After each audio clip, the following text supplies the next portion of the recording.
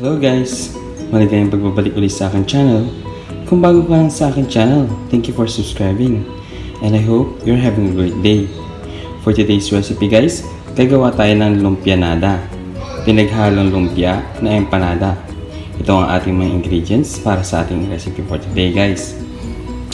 We need cabbage, minced chicken, munggo, luto na po ito, minced onion, garlic, 2 eggs, carrots, at lumpia wrapper. Kailangan din natin ng salt and pepper to taste dito at mantika. So tara guys, simulan na natin ang pagluluto.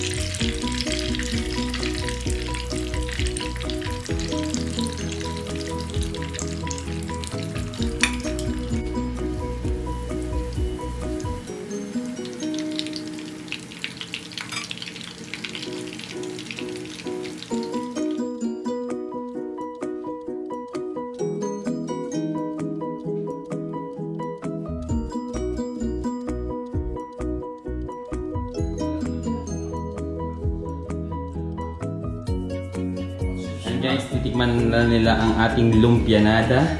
All subscriber, tikman na po namin ang ano to? Lum Lumpia lumpiang pina. Oh, subscribe na kayo! Nandito na naman kami, taga-tikim! Ito na po ay ang Mmm, Lumpianada guys. ang sarap!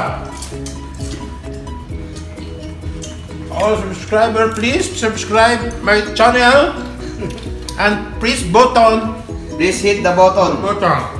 Sarap! Mainit. Kami po ang taga-tikim. Magluluto lang. Taga-Buraak lang po kami dito. Sarap gang. Kaya, kain na kayo. Sarap. Kopyahan nyo na yung recipe. Eh, recipe. And guys, Thank you for watching. kung gusto nyo ang ating recipe for today, comment down below. Click like, click subscribe, and click the notification bell para updated kayo sa aking mga bagong recipe guys. Thank you for watching. God bless and bye-bye. Ito masarap. May karne.